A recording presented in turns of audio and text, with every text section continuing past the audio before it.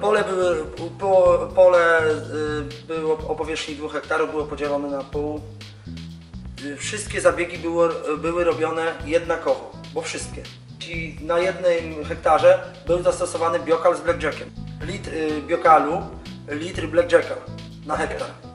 Po zakończeniu no był omłot, no po prostu był omłot i ten hektar skosił ten sam kombajn i ten hektar skosił ten sam kombajn i była różnica 350 kg po, wy, po wyważeniu.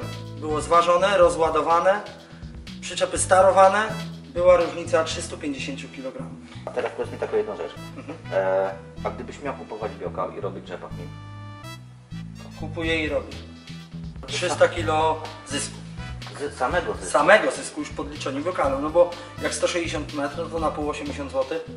Mhm. No to jest, jak mówisz, niecałe, no to jak będzie pół metra.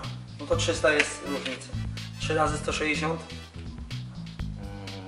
Mm, 480.